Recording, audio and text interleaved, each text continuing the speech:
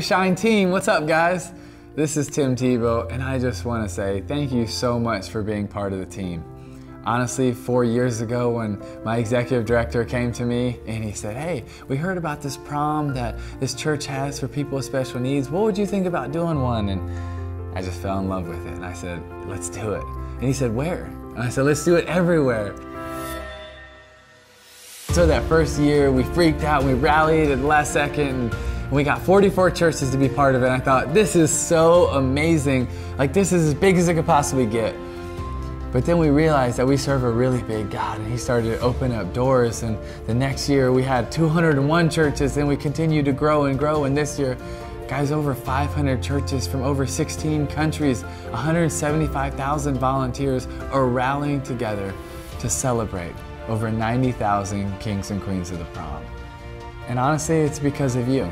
It's because you're willing to say, yes, I want to be part of that team. I want to give. I want to care. I want to love those kids. I want to celebrate with them. I want to dance with them.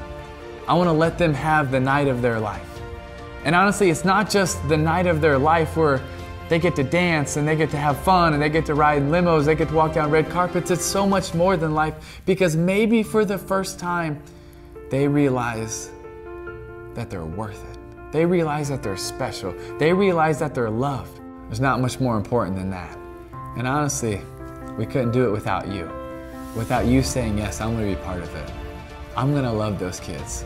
I'm going to make them feel special. And at the end of the night, when they're crowned king or queen of the prom, hopefully they leave realizing that the God of this universe loves them so much and has a special, unique plan and purpose for their life.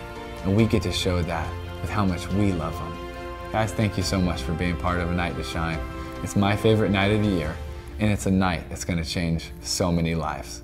God bless you.